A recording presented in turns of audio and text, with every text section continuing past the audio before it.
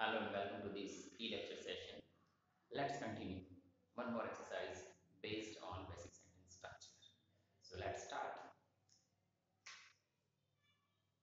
The police caught the thief red-handed. The police subject caught verb the thief. Thief is a noun, so object. The police caught the thief. Subject verb. Red-handed. The police caught the thief red-handed. Who was caught red-handed? The thief was caught red-handed. So subject verb object. This red-handed. Okay, it works as an adjective and it describes whom the thief that, that the thief was caught red-handed. Alright. So it is describing the object and that's why it is the complement of the object.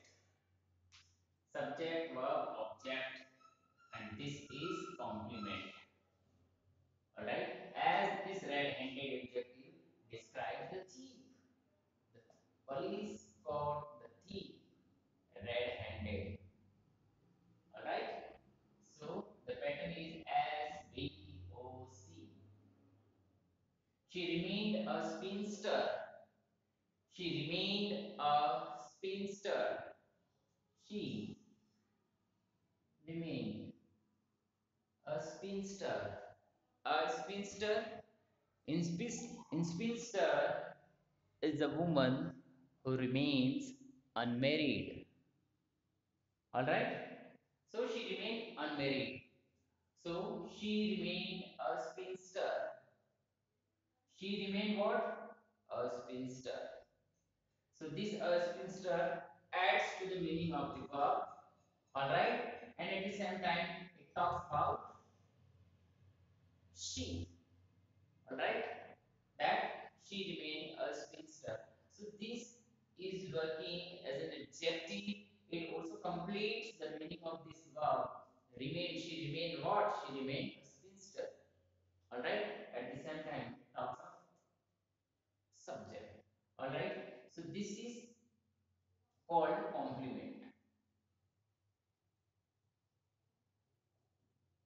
It adds meaning to the verb. She remained, what she remained? A spinster. And that's why this is SVC. Okay? He thinks it impossible. He thinks it impossible. What is It. It is impossible. Subject verb. He thinks it impossible. It, there is something, and that particular thing, he thinks that is impossible. So this impossible is describing it, the object, and that's why it is the complement of object. So it will be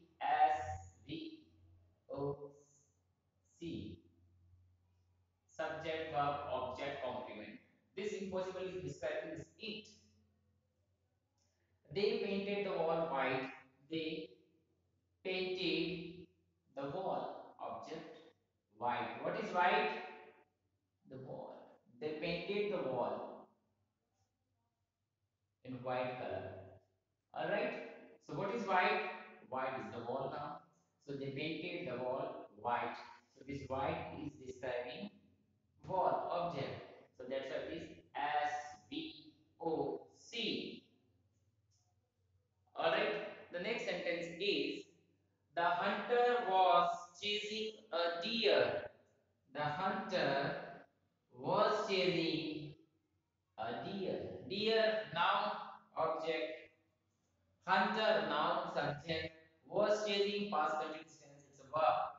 A deer object. So simply it is